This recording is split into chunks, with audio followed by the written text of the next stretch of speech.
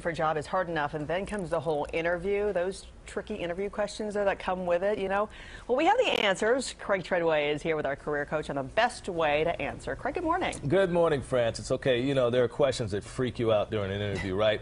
What's your biggest weakness? Where do you see yourself in five years? I mean, those are the type of questions that'll make you freeze. They're typical interview questions, and they can be tricky to answer. So, uh, here to tell us how to handle that type of inquisition is career coach and executive search consultant Laurie Rosenfield. Laurie, thank you so much good for being morning. with us. This is a good one because these questions totally get people to freeze up. Yeah. First, let's talk about this one.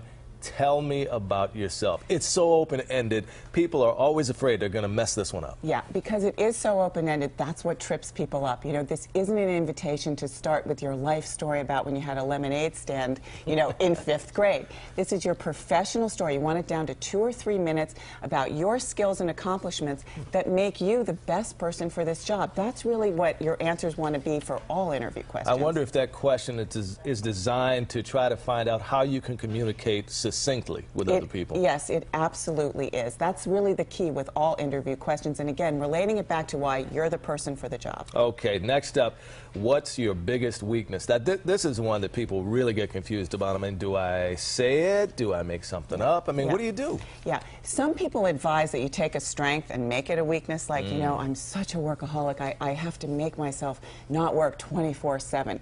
I think that's a little disingenuous. Yeah, and I don't think people buy that. They don't, and none of us is perfect. We can all think of something that, that, that we turned around. So think of a, think of examples like, you know, I realized my PowerPoint skills weren't very good. I went out on my own and took a class, or I had so many responsibilities and I felt I wasn't really that organized, so I came up with a new system. Find something that that you can talk about to show how you made the uh, improvements. Okay, here's the deer in the headlight ones.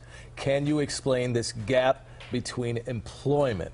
Now, what are, what are some of the points you got to hit here? Well, you know, these days there's a little bit less stigma around this, to be honest with you. But whether you're a mother returning to work or you were someone who was laid off in 2000 and 2008, 2009, when the entire world fell apart, let's Mm-hmm. Be fair, you just want to have your story down. Again, you want to be concise. What were you doing during that time? Let's be honest, you can't look for a job 24 hours a day. So, did you volunteer? Did you take a class? And you know what? If you were on the couch sort of nervous about what your next steps were, well, talk about how you did soul searching to really Hmm. figure out what the next right step for you was. Okay, what about uh, why are you leaving your current job?